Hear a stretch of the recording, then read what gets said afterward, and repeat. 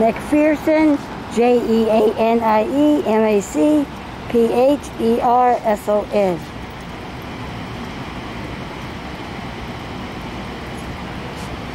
Now, Jeanie MacPherson stars for the category motion picture located at 6150 Hollywood Boulevard between Hollywood and Argyle, Hollywood and Gower.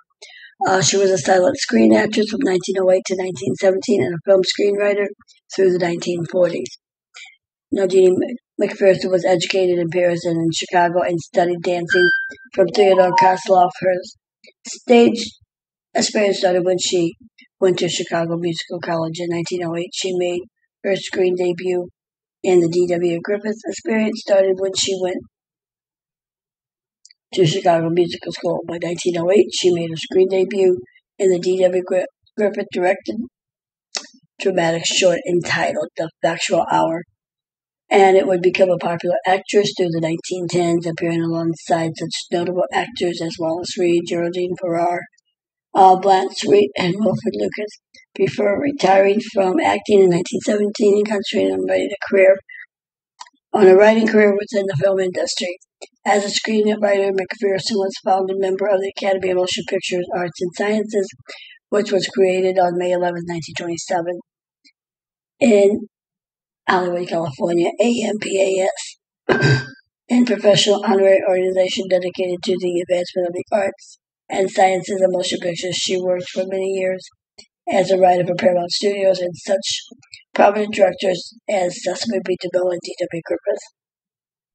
Now MacPherson died of cancer in 1946 at the age of 59 and was interred at the Hollywood Forever Cemetery in Hollywood.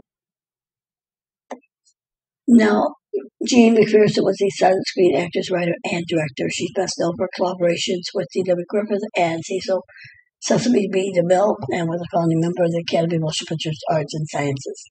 She was born on May 8th in Boston. She was born on May 18th, 1886, Boston, Massachusetts, died August 26, 1946 in Los Angeles, California, and is buried at Hollywood Forever Cemetery. Parents was John Sinclair MacPherson and Evelyn Tolson.